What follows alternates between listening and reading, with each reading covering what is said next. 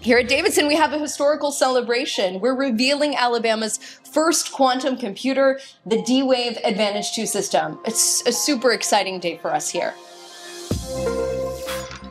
Quantum has arrived in Huntsville. Think about that for a minute. There isn't a better place to have this type of technology driving unique applications across the warfighter community. This is a unique ecosystem.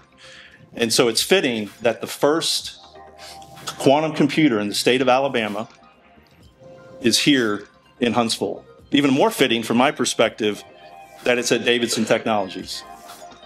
When Dr. Julian Davidson was still alive and his and what he was trying to do with this company and where he was trying to take it and the impact that he wanted to have on the mission set and he wanted to do it in a way that you know really proved out that complex problems can be solved with unique applications.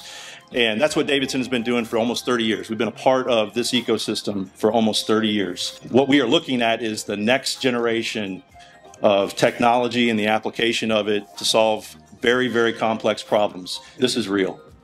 We have the first quantum computer in the history of the state of Alabama in our facility, ready to go operational.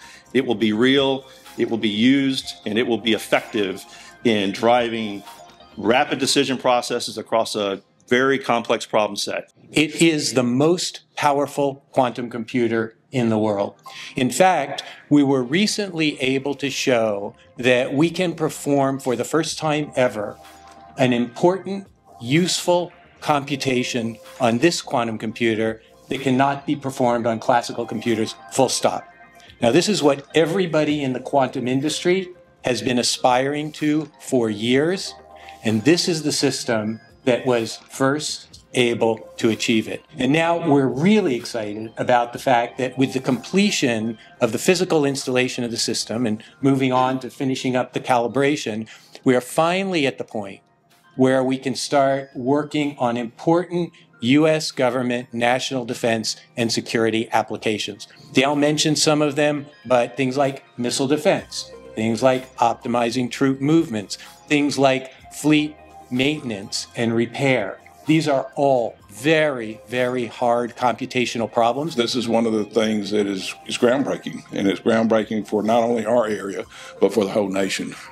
Thank you, and we wish you great success in this. Uh, your success is our success. It's time for something that is unique and different. Huntsville's always been at the forefront of that.